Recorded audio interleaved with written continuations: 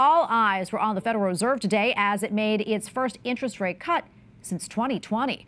The cut is expected to pave the way for lower borrowing costs on everything from mortgages to credit cards. The Federal Reserve said inflation continues to drop steadily toward the targeted 2% mark. The stock market rose sharply following the news, but ultimately ended the day down roughly 100 points. And for more, let's bring in Dr. Jeffrey Campbell, professor of economics at the University of Notre Dame. Jeffrey, great to have you back on again. Uh, this was a pretty aggressive rate cut by the Fed. Did it surprise you at all? And what does this signal? So it surprised me greatly. It surprised everyone I spoke with. Everyone had been pricing in 25 basis points or half of what actually happened. Um, the cut itself, the aggressiveness, signals a real dedication by the Fed to um, easing rates in the near future and to in, ensuring that, um, in their view, the, that unemployment does not get too high. Um, there is an accompanying document that comes along with the decision called the Survey of Economic Projections, and it has most of the, if not all of the uh, FOMC participants anticipating a really uh, rapid and aggressive series of rate cuts for the next two years. Yeah, and talk to us more about what this is going to mean for our economy and, and consumers.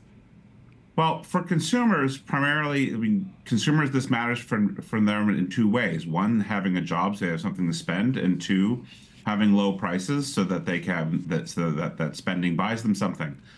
Um, the Fed is focused very squarely on one pillar of its dual mandate, which is maximum sustainable employment, or as I like to put it, minimum sustainable unemployment. Um, on the other hand, inflation is still running above uh, the Fed's 2% target. And the Fed's plans, as outlined in that survey of economic projections, don't really show how they're going to get that back down to 2%. It's about 2.5 to 2.6% now.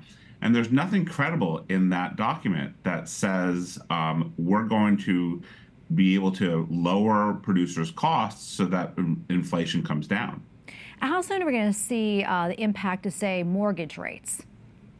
Mortgage rates um, are going to respond immediately. In fact, they already have. Um, financial market rates like that, those change very quickly. And so mortgage rates have come down, and we'll uh, be seeing that probably exacerbating one of the big challenges that Americans face, which is affording a home. Because as mortgage rates come down, more people are able to finance a bigger house and they bid up the prices of existing houses. Before I let you go, I don't have a whole lot of time left, but, but I want to switch gears here and I want to ask you about this potential longshoreman strike uh, on sure. October 1st.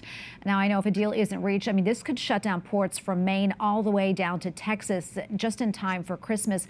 What are the implications here? Well, the implications, um, fortunately, are not going to be very big if there is a strike. Most retailers um, pre-shipped uh, their inventories before knowing that this was coming down the pike. So it looks like there's not going to be a huge amount of uh, uh, disruption at your local big box. On the other hand, the shipments that are left to get through, there will be some complications if the strike goes through, um, logistic complications. All right. Well, thank you so much for weighing in. Always appreciate it. Thank you, Tracy.